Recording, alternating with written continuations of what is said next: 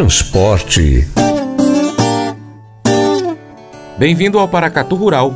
O governo de Minas Gerais, por meio da Secretaria de Estado de Infraestrutura e Mobilidade, CEINFRA, e do Departamento de Edificações e Estradas de Rodagem, DERMG, lançou na segunda-feira, dia 4, o maior pacote de obras rodoviárias da última década. Com mais de 2 bilhões de reais em investimentos, o Provias vai requalificar trechos da malha viária mineira com obras de pavimentação, construção de pontes e recuperação funcional das rodovias. Uma das intervenções que acaba de ser iniciada é a construção da ponte sobre o Rio São Francisco na MG 402, no norte do estado. A estrutura será uma das maiores já construídas em Minas Gerais, com cerca de um quilômetro de extensão, conectando as regiões norte e noroeste do estado. Com investimento previsto de 113 milhões de reais, a conclusão desta ponte deverá acontecer em outubro de 2023. Sônia Neri, da Agência Minas, tem mais informações.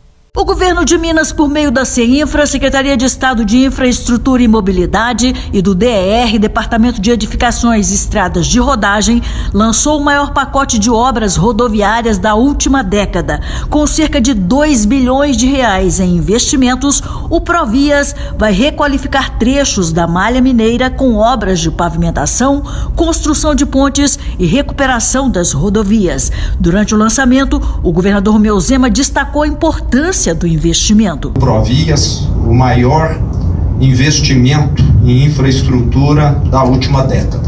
Um processo que vai levar tempo, é de longo prazo, mas que vai mudar a realidade das rodovias mineiras. Estamos aqui agora dando esse pontapé. Temos muito o que fazer, mas pelo menos agora, em vez das nossas estradas continuarem se deteriorando, elas vão tomar o caminho inverso. Romeu Zema também falou sobre os reflexos econômicos esperados com a realização do Provias, que prevê a geração de cerca de 8 mil empregos diretos e 24 mil indiretos. Do ponto de vista econômico, é gigantesco o impacto. Quando você tem uma malha viária, uma infraestrutura bem estruturada, você consegue atrair mais investimentos. As ações previstas no Provias se dividem em dois eixos: melhorias no pavimento das estradas em pior estado de conservação e pavimentação e construção de pontes com foco em viabilizar novas ligações entre importantes regiões de Minas Gerais. Em relação aos recursos destinados ao programa, 1 bilhão e 400 milhões de reais é oriundo do termo de reparação assinado com a Vale em decorrência do rompimento da barragem de Brumadinho. Outros cerca de 120 milhões de reais são do termo de ajustamento de conduta firmado entre o governo de Minas e a Fundação Renova. O restante é fruto de convênios e emendas parlamentares estaduais e federais, parcerias com empresas e convênios com prefeituras. Da Agência Minas, Sônia Neri.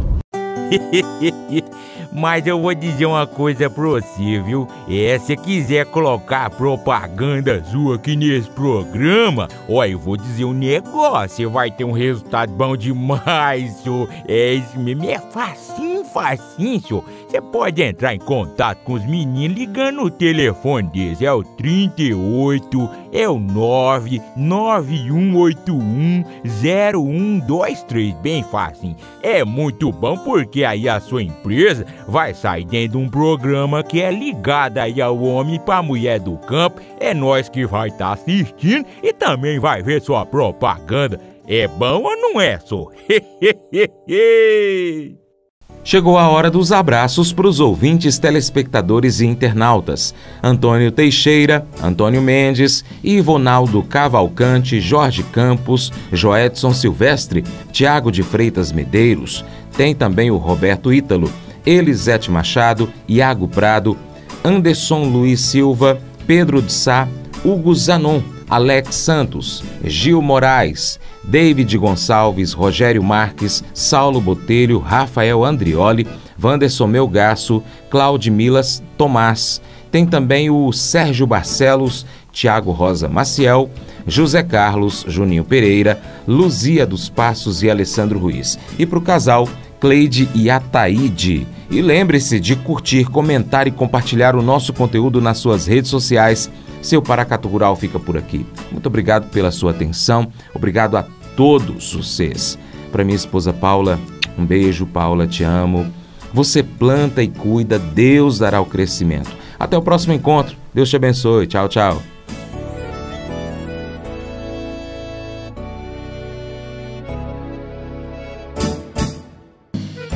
Acordo de manhã para prosear no mundo do campo, as notícias escutar.